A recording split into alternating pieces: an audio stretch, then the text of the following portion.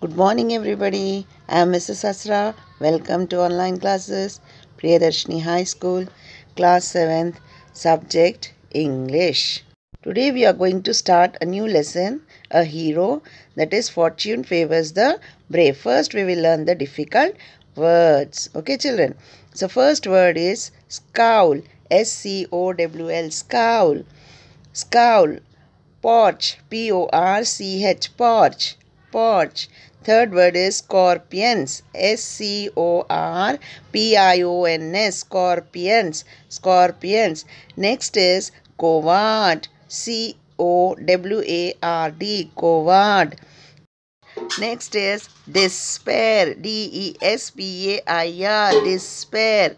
Despair. Despair.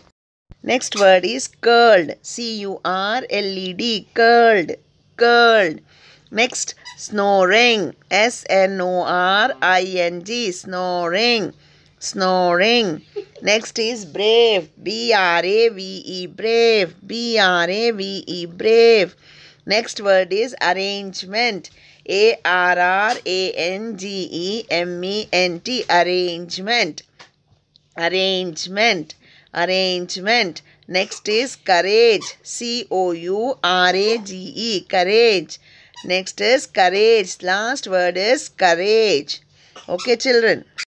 The meanings. Okay, get ready, children. First meaning is scowl. Scowl means an angry look or expression यानी गुस्से को गुस्से से किसी को देखना.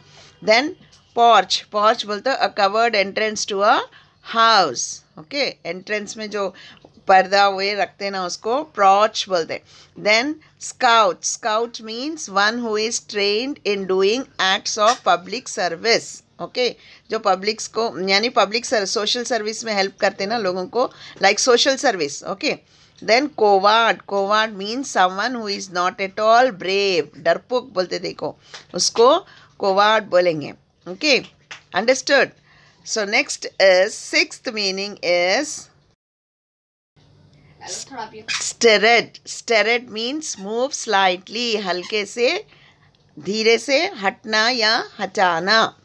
देन डिस्पेयर डिस्पेयर बोल तो a feeling that you have no hope at all यानी आप कुछ भी नहीं हो सकता बोलते देखो वैसा। Despair means that then tiptoed tiptoed means walk quietly on the tip of his toes यानी अपन को किसी की चोरी से, यानी किसी को डराने के लिए अपन धीरे से ऐसे अंगूठों पे चल के किसी को डराते देखो, उसको टिप टोड बोलते। यानी वॉकिंग क्वाइटली धीरे से चलना अपने अंगूठों पे टिप ऑफ़ द टोज मतलब अंगूठों पे धीरे से चलना। So this is all the meanings you have to write this meanings and difficult words in your class work five times okay children